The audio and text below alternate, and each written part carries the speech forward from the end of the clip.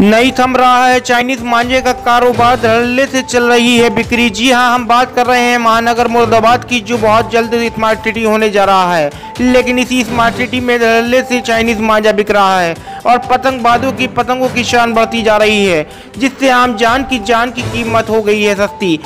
कि कहीं भी जाते हुए ये जानलेवा मांझा किसी के भी गले का हार बन कर लिपट जाता है और बन जाता है जान पर।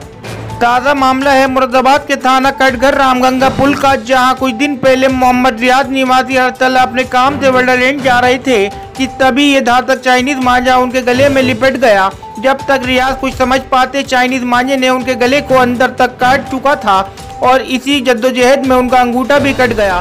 रियाज को तुरंत नजदीकी अस्पताल ले जाया गया, जहाँ उनकी गर्दन में पंद्रह टाके आए और अंगूठे में चार टाके हालाँकि रियाज उस दिन मरते मरते बचे। लेकिन उनका कहना है कि यह आज तक किसी और के साथ ना हो। अब देखने वाली बात यह होगी कि जिला प्रशासन इस घटना को कितनी गंभीरता से लेता है या फिर किसी बड़ी घटना का इंतज़ार कर रहा है। मुरादाबाद से मुबशिल सुल्तान की रिपोर्ट। क्या नाम है आपका? मेरा नाम मोहम्मद रियाज कहाँ रहते हैं? मैं रहता हूँ हरतला लाइन में। और मैं यहाँ वंडरलैंड आ रहा था।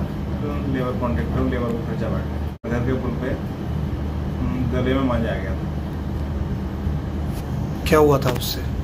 जब मैं स्कूटी से आ रहा था चाइनीज़ मज़ा था जी। वो गले में आ गया। जी। तो वो इतनी तेज खिंचा कि वो यहाँ पे काफ़ी अंदर तक डीप तक कट गया था। और अंगूठे जब भी हाथ में आ, आ गया था गले में तो उसके वजह से बच भी गया। जी। तो अंगूठा भी कट गया था उस वजह से। तो काफ़ी टाँके हैं, इसमें भी छः सात टाँके हैं, हाथ में भी हैं। मैं चाहूँगा साहब जो मेरे साथ हुआ है, आगे किसी को ना हो तो तार की कुछ वाइंडिंग हो जाए वहाँ पे ऐसा, कि मज़ा सड़क पे ना पाए, जो मेरे साथ हादसा हो और किसी के साथ ना हो।